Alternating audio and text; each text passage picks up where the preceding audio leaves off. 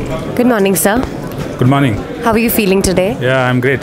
Yes. So, like we all know, we have gathered here for a very beautiful purpose, which is creating awareness for epilepsy.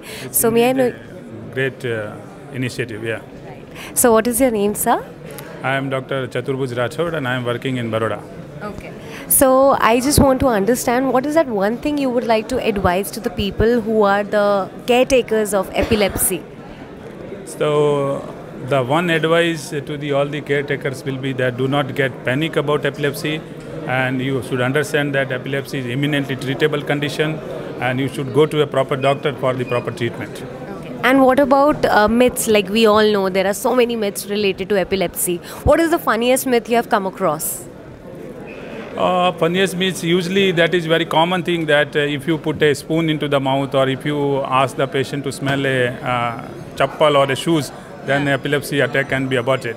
Do you think any of it is true? Uh, this obviously these are uh, far from the uh, fact and these are obviously n- should not be done during the epilepsy attack.